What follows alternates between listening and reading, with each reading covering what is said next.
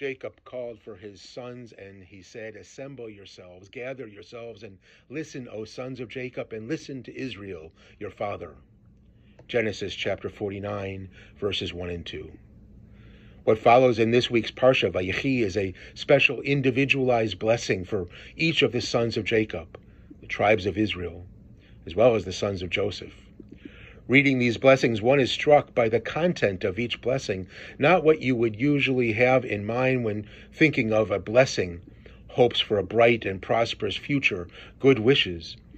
No, these blessings are more of a character assessment, and not all of them complimentary. Take the blessing for Reuven, for example. Because of your water like impetuosity, you cannot be foremost, says Jacob. Shimon and Levi, his blessing continues. Our brothers stole and tools their weapons with their congregation do not unite. Accursed is their rage, for it is mighty. Other verses are obscure. Judah launders his garment in wine and his robe in the blood of grapes. Dan will be a snake on the highway, a serpent on the path. What kind of blessings are these? A hint is given in the passage as it concludes Genesis chapter 49, verse 28. This is what their father said to them, and he blessed them, asher each according to his appropriate blessing. Shabbat Shalom. I hope that this pre Shabbat video finds you and your family healthy and safe and enjoying this beautiful Erev Shabbos afternoon.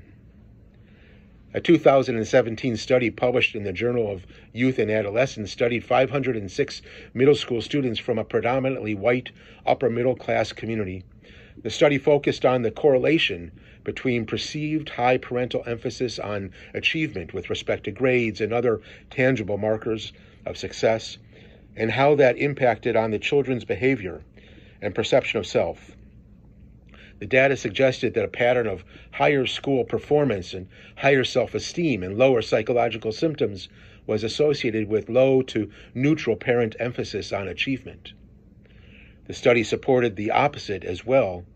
That is, that higher the higher the pressure to achieve and conform to parental expectations, the more likely it was that children would experience low self esteem and psychological distress.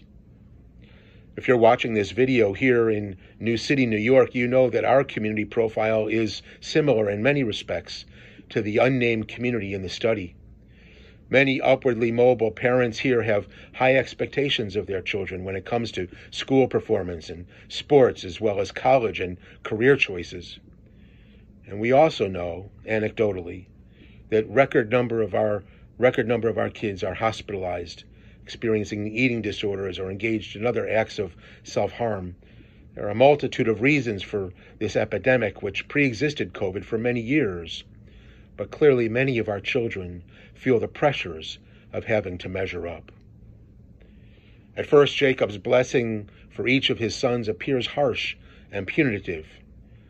But a deeper reading reveals the brilliance of these final words to his family because Jacob knows his children. He understands their failings and their strengths. He might have blessed them with material wealth and success, but as we all know, these things more often than not do not lead to happiness. Jacob's blessing is to recognize in each of his children something unique, something exceptional, irreplaceable. He recognizes them for who they are, with the hopes that they will fulfill not his dreams and aspirations, but rather their own dreams for self fulfillment. Would that we could all confer that kind of blessing on our children and our grandchildren, to reflect back to them what makes them special and unique, not what we want them to be, but to help them discover in themselves the reason that they were created. Shabbat Shalom.